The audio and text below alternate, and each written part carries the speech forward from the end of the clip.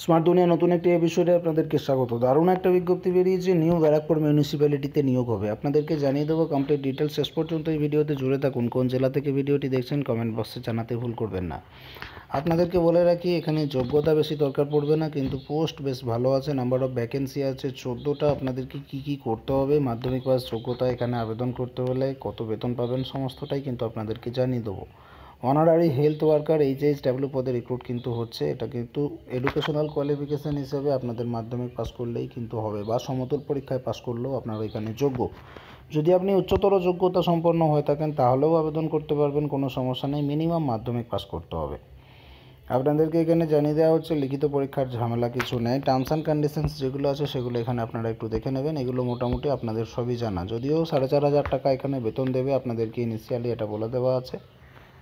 আপনাদেরকে যেটা করতে হবে ডকুমেন্ট হিসেবে আপনার আধার কার্ড, ভোটার কার্ড বা রেশন কার্ড, এটা আপনার নিজের ডকুমেন্ট হিসেবে এইচ প্রুফ হিসেবে আপনার মাধ্যমিকের অ্যাডমিট কার্ড অথবা বার্থ সার্টিফিকেট রেসিডেন্স হিসেবে আধার কার্ড দিতে পারেন এবং এসসি এসটি ওবিসি সার্টিফিকেট যদি থাকে, সেটা আপনি অবশ্যই জমা করবেন।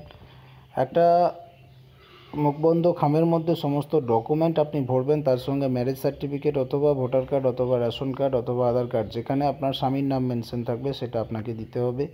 এবং পাসপোর্ট সাইজের ফটোগ্রাফ দিতে হবে। All application must be address to the কোথায় অ্যাড্রেস করতে হবে সেটা এখানে বলে দেওয়া আছে, আপনারা দেখতে পাচ্ছেন। কোথায় অ্যাড্রেস করবেন?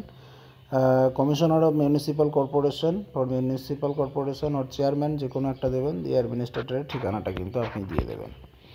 এইভাবেই কিন্তু আপনাকে আপনার অ্যাপ্লিকেশানটা পাঠাতে হবে। ছাব্বিশ দশ দু হাজার একুশের মধ্যে, অর্থাৎ ছাব্বিশ দশ দু হাজার একুশ বিকেল পাঁচটার আগে কিন্তু আপনাকে জমা করে আসতে হবে ড্রপ বক্সে দিয়ে আসতে হবে।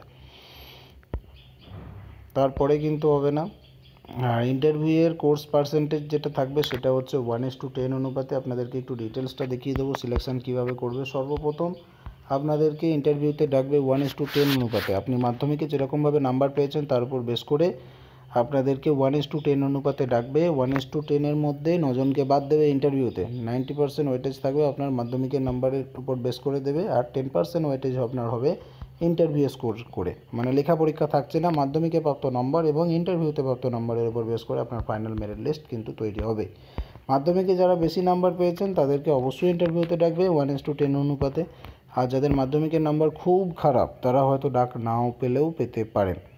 কারণ যদি প্রচুর অ্যাপ্লিকেশান জমা পড়ে ওয়ান ইস টু টেন অনুপাতে আপনারা আসতে পারবেন না। বা বাদ পড়ে গেলে কিন্তু আপনাদেরকে আর ডাকবে না।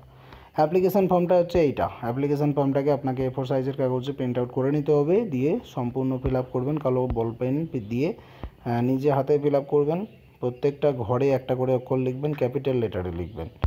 আর আপনাদের ক্ষেত্রে যে বিবাহিত বা বিবাহিতা হবে অবশ্যই এখানে মেয়েদের জন্য আবেদন করতে হচ্ছে। ম্যারেডে টিক দেবেন, যারা ডিভোর্সি তারা এইটাতে টিক দেবেন, যারা উইডো তারা এইটাতে টিক দেবেন। তারপর আপনারা ফর্মটা সবাই ফিল করতে পারবেন, কোনো কঠিন ব্যাপার নয়। যদি কমেন্ট সেকশনে জিজ্ঞাসা করতে চান, কোনো প্রশ্ন থাকে অবশ্যই করতে পারেন।